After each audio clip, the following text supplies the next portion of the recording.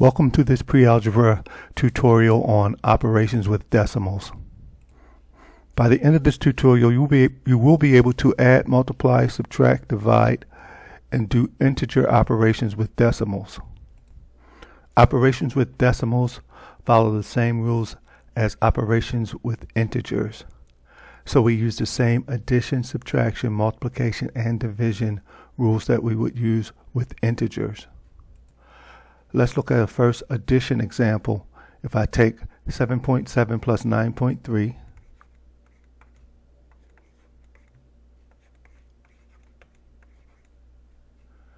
you probably do this on your calculator so that you will come up with 17.0 or just 17.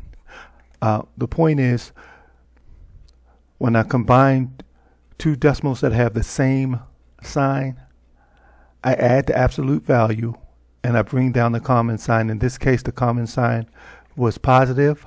So I bring down a positive sign, but when I have one number, I don't write the positive sign. I just write the number itself. So 7 plus 7, 7.7 plus 9.3 equals 17.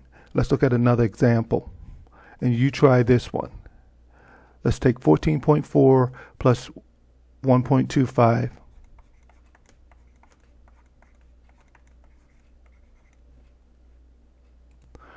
Okay, feel free to pause the video and try it yourself.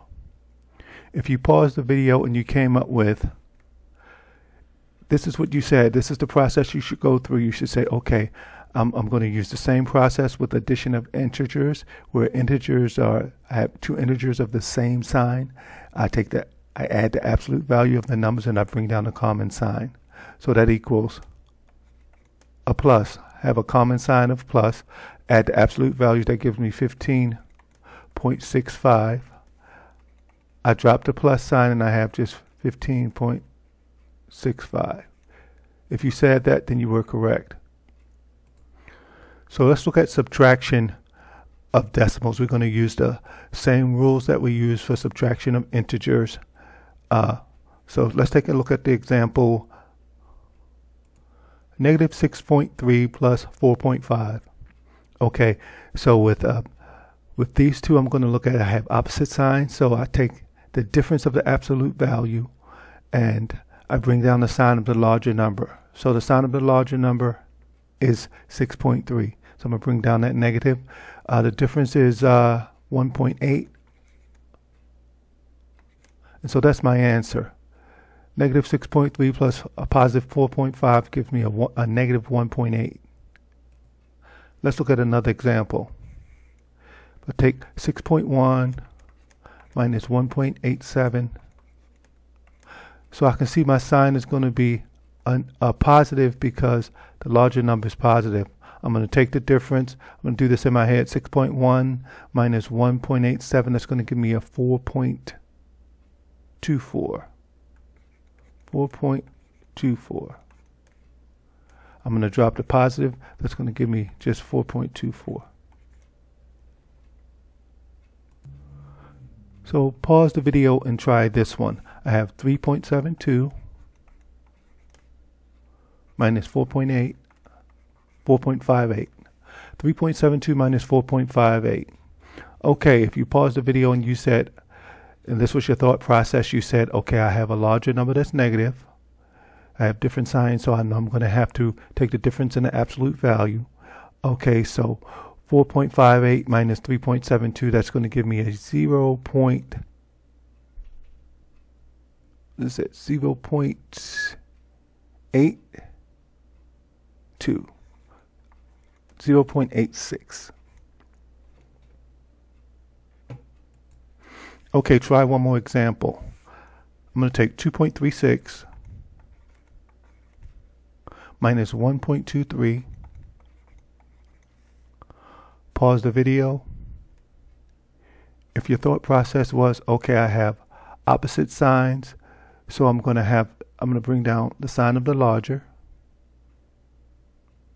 And I'm going to take the difference of the absolute value. So 2.36 minus 1.23, that's just 1.13. I'm going to drop the positive sign so that equals just 1.13. So let's look at multiplication with decimals. Let's look at an example. I have 4.8, a negative 4.8 times 0.2. Okay, so this is my thought process. When I multiply a negative and a positive, I'm going to get a negative. And 4.8 times 0.2, I just multiply those together. I can do it by, this one I can probably do in my head, but calculator is okay. That's going to give me a 0.96. And so that's your answer. Try this one. I have a negative 2.03 pause the video and try this one. Have a one point, a negative 1.66. If your thought process was, I have a negative and a negative, when I have the same signs, my answer is positive when I'm multiplying. So I'm going to do this on the calculator. I came up with a 3.3698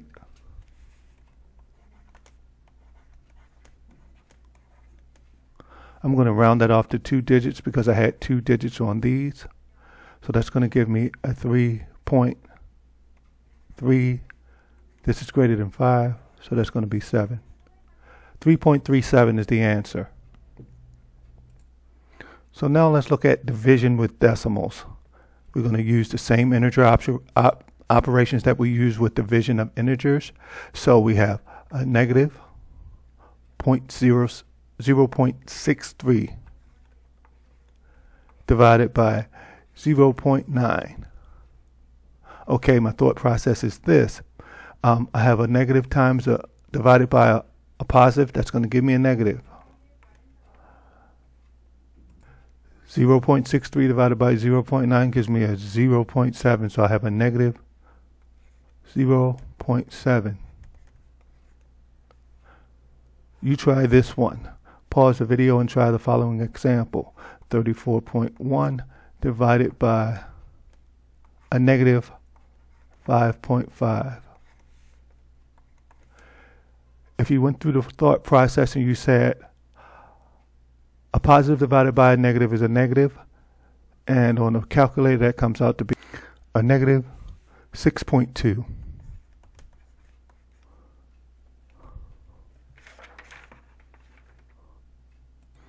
So now let's solve equations involving decimals. We're going to use the same process of, as we did with inter, uh, integers.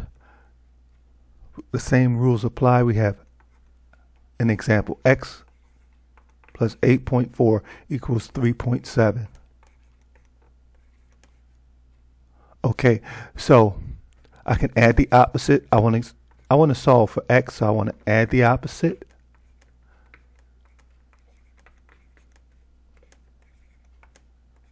to both sides.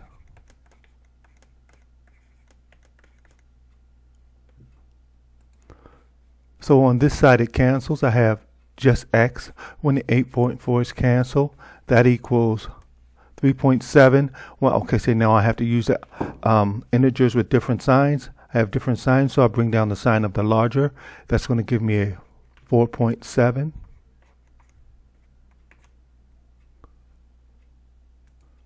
So the answer is a negative 4.7. So feel free to pause the video and try this example yourself. I have A, the letter A plus 2.8 equals 2.29. Okay, if your thought process was you're going to add the opposite over here to get A by itself, you said A plus 2.8 minus 2.8. Same on the other side. We have to add it on this side, minus 2.8. So these two cancel. And so now A equals, okay, when you went to the right side, 2.8 is larger than 2.2. Okay, so it looks like it looks the other way around, but 2.8 is larger than 2.2 because the 8 is larger than the 2. So I'm going to take the sign of the larger when I'm adding integers and I'm going to take the difference of the absolute value. So uh, that's just going to be a point, looks like a point, a 0.51. Yeah, that's what I got. A 0.51. So now we move on to division of of equations with the decimals. If I look at the first equation, z over 6.9 equals a negative 2. Okay, so this is my thought process. I, I remember back that uh, when I have division of integers, I use the same rule. I can multiply the, I can do the opposite by multiplying uh, by 6.9 on both sides. I'm going to do negative 2 times 6.9. These cancel on that side, so that's easy. I'm left with z. But what do I have here? 2 times 6.9, I think that's 13.8. Okay, and now I'm multiplying a positive and a negative. That's going to be a negative when I have different signs. The answer is negative when I'm multiplying or dividing. If I have same signs, the signs are positive. You try the following example. I'm going to take, pause the video, I have m over 0.4 equals 0.8. Okay. So let me erase this equal sign. If you said you're going to do the opposite, that is multiplied by 0.4 on both sides,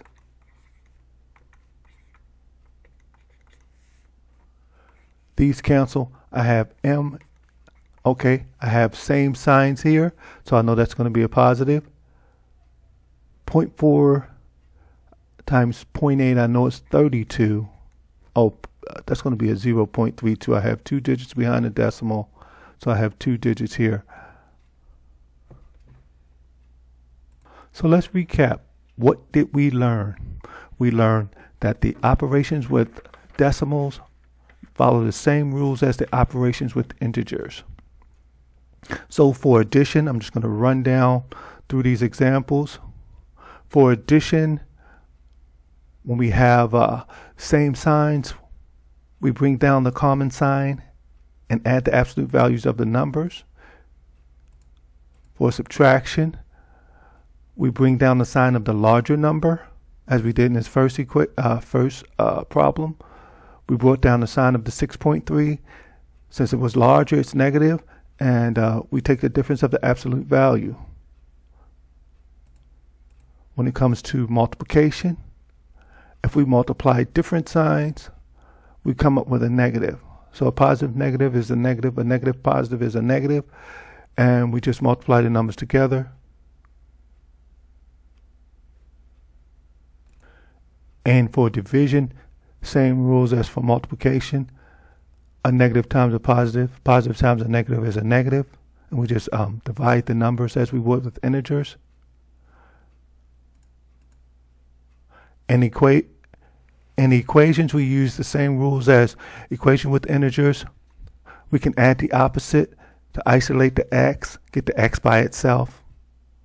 And then on the right side, if you look at this first equation on the right side, when we added two different signs, we take the sign of the larger and, and take the difference in the absolute value of the two numbers. So this is a two more of a two-step equation where we had to take uh, but you just take one step at a time. So really it's a two one-step equation. Same thing with the last example. And so that's what we learned. And that's going to conclude this lesson on decimals and decimal op operations. Hopefully it was helpful to you. Please like, subscribe, share, support.